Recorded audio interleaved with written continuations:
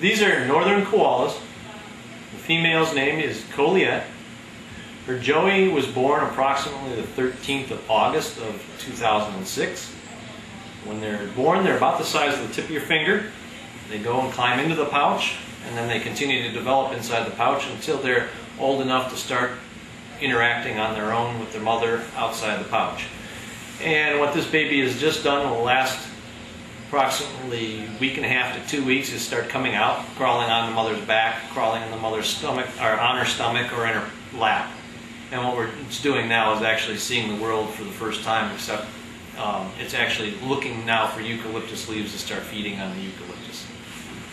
And how long will the baby be with mom before she's separated? Usually the babies stay with mom until they're about 14 months old, but usually they're starting to sit on their own at about eight to nine months. They'll start sitting right next to her, sitting next around back, eating on their own, but they'll stay in the vicinity of the mother. In the wild at that time, they'll just start moving farther and farther away.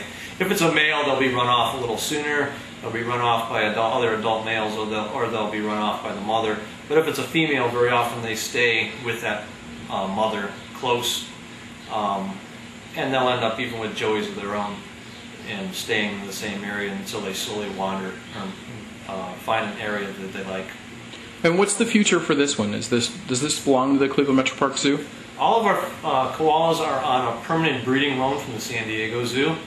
The youngsters will either be uh, transferred to the San Diego Zoo or transferred to another zoo that has a loan from the San Diego Zoo. So all the offspring actually will belong to the San Diego Zoo also.